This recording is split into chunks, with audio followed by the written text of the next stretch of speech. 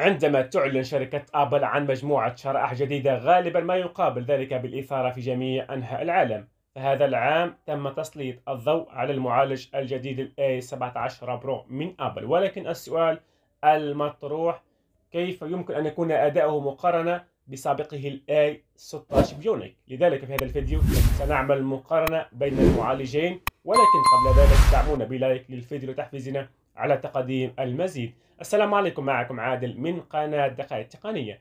أولا نبدأ بعملية التصنيع. نبدأ بمعالج A17 برو. الميزة البارزة في هذا المعالج أنه يأتي بأول شريحة 3 نانومتر في الصناعة مبنية على أحدث عملية تصنيع 3 نانومتر. ويعني هذا التخفيض النانومتري عن سابقتها أن الشريحة يمكنها استيعاب المزيد من الترانزستورات في نفس المساحة. مما يؤدي لتحسين الأداء وكفاءة الطاقة. فمعالج ال A17 Pro يضم ما يقارب 19 مليار ترانزستور. وبالنسبة لمعالج ال A16 Bionic فتعمل بتقنية 4 نانومتر وتحتوي على حوالي 16 مليار ترانزستور. هي أقل من المعالج الجديد ولكن التجربة تبقى هي الفاصل والحكم. وبالنسبة للأداء الخام فنواة وحدة المعالجة المركزية تميز كلتا الشريحتين بوحدة معالجة مركزية سداسية النواة ومع ذلك فإن التحسينات المعمارية في ال A17 Pro توفر ما تصفه آبل بأنه أسرع أداء داخل أي هاتف ذكي. أيضا على منصة الجينج باش تشير المعايير إلى تعزيز كبير في أداء ال A17 Pro. يظهر الأداء الأحادي النواة على الجينج باش تحسن بنسبة 16% تقريبا ويقفز الأداء متعدد النواة بنسبة 13% تقريبا مقارنة بسابقه ال A16 Bionic. وعلى منصة AnTuTu تحصل هاتف الآيفون 15 Pro Max الذي يحتوي على معالج ال A17 Pro على مليون و600 ألف نقطة.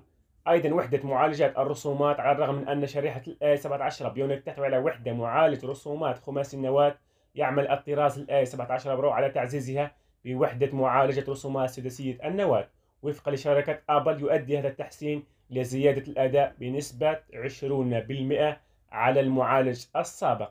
أيضا تأثيرات العالم الحقيقي هذه ليست مجرد لعبة أرقام ويعني النواة المضافة تتعامل بشكل أفضل مع الرسومات عالية الدقة بدءا من الألعاب وحتى المهام الرسومية الاحترافية. أيضا تتضمن وحدة معالجة الرسومات الخاصة بمعالج الاي 17 Pro تتبع الأشعة القائمة على الأجهزة وهو تحسين كبير في تقديم تأثيرات الإضاءة والظل الواقعية. على وجه الدقة أيضا توفر شريحة ال A17 Pro أداء أسرع يتتبع الأشعة بأربعة مرات مقارنة بشريحة ال A17 Bionic. وبالنسبة للاتصال والميزات الإضافية يوفر معالج ال A17 Pro إمكانات ال USB 3 لأجهزة الآيفون مما يسمح بمعدلات نقل بيانات أسرع تصل إلى 10 جيجا بايت في الثانية وهي خطوة كبيرة مقارنة ب 480 ميجا بايت في الثانية الموجودة في شريحة ال A17 Bionic يعني معالج ال A17 Pro أسرع في نقل البيانات من معالج ال A16 Bionic قد تختلف أهمية هذه التحسينات من مستخدم لآخر ولكن بالنسبة لأولئك الذين يبحثون على أداء عالي المستوى فإن ال A17 Pro يضع معيارا جديدا في عالم التكنولوجيا أيضا بعض التجارب لبعض ال YouTuber قالوا أن أداء معالج ال A17 Pro في أجهزة الآيفون 15 Pro وال Pro Max يفقد 50% من قوته بعد 20 دقيقة على منصة 3D 3D Mark وهي أعلى نسبة هبوط في الأداء مقارنة بمعالجة ال A16 Bionic و Snapdragon 8 الجيل الثاني و Google Tensor G2 أيضا التجارب التي أجراها المراجعون الصينيون أظهرت أن معالج ال A17 Pro الجديد في أجهزة ال iPhone 15 Pro وال Pro Max أقوى بقليل من معالج ال A16 الأقدم سواء من ناحية ال CPU أو ال GPU لكن ذلك على حساب استهلاك الطاقة. يعني معالج الاي 17 برو مستهلك للطاقة بشكل كبير حسب هذه الاختبارات. وفي الأخير دمتم في رعاية الله.